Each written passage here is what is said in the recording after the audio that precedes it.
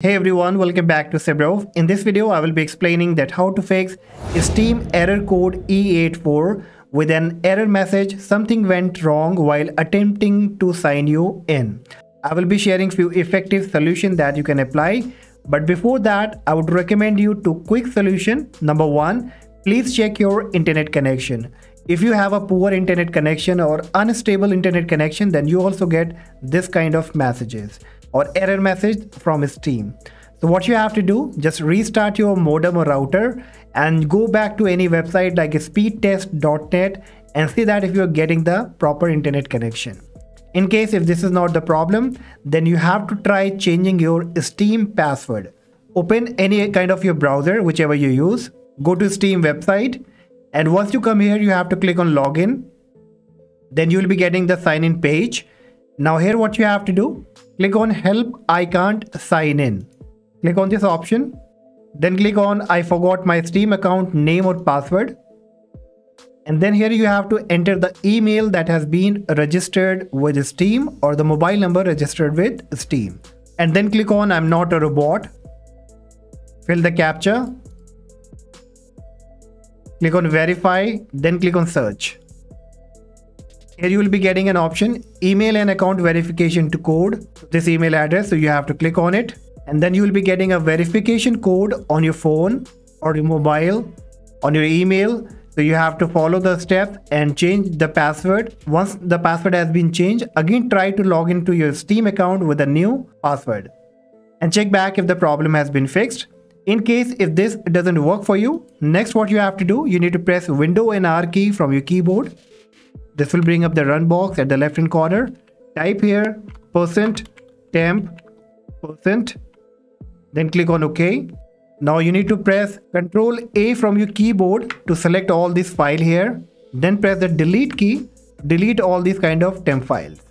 Once done, again you have to press Window and R key from your keyboard. Type temp, hit enter again. Again press Control A to select all. Then press the delete key to delete all these files from here. Now you can close it.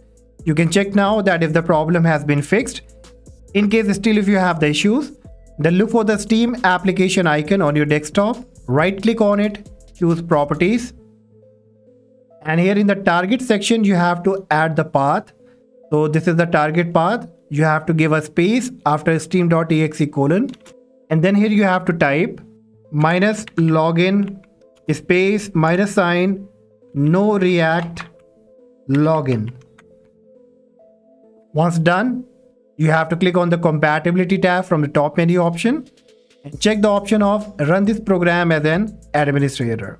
Then click on apply, click on continue, then click on OK.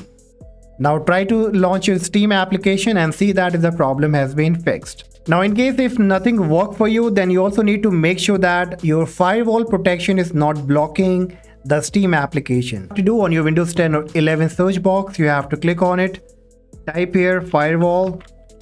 From the suggestion, choose firewall and network protection. Here you get an option of allow an app through firewall, click on it. Then you will be getting such kind of page. Here you have to look for the Steam. So make sure that uh, you keep scrolling down until you find the Steam application over here. Here it is. Then click on change settings and make sure that the Steam application is checked from here. And on the right hand side the private and the public option has been checked. Right? this is what you have to do. In case if you do not find the Steam application over here then you have to click on allow another app. Then click on browse. Here you have to go to local disk C. Then go to program file x86 then you will find the Steam folder here.